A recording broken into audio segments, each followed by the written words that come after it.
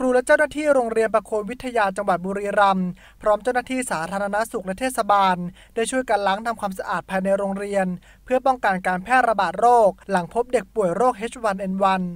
โดยเจ้าหน้าที่ได้ฉีดพ่นฆ่าเชื้อโรค ตามอาคารเรียน ห้องเรียน โรงอาหาร โต๊ะ เก้าอี้ อุปกรณ์การเรียน และของเล่นเด็ก เพื่อป้องกันการแพร่ระบาดของเชื้อโรค เนื่องจากพบเด็กนักเรียนชั้นป .6 ติดเชื้อไข้หวัดใหญ่สายพันธุ์ H1N1 ถูกส่งไปรักษาที่โรงพยาบาลที่จังหวัดนครราชสีมา และยังพบเด็กนักเรียนมีอาการป่วยเข้าข่ายต้องสงสัยที่เฝ้าระวังเพิ่มเติมอีก 2 ราย จากนั้นมีการตรวจคัดกรองนักเรียน และครูกว่า 100 รายทำให้โรงเรียนต้องประกาศปิดเรียน 5 วัน ตั้งแต่วันที่ 10ถึง14 สิงหาคม ด้านนายชัยวัฒน์จุนทิรพงศ์ในอำเภอประโคนชัยกล่าวว่า ขณะนี้ได้ประสานกับทางสาธารณสุข โรงพยาบาล และทางโรงเรียน เพื่อร่วมกันในการเฝ้าระวังป้องกันการแพร่ระบาดของโรค พร้อมกันนี้ยังได้ฝากถึงพ่อแม่ผู้ปกครอง และประชาชน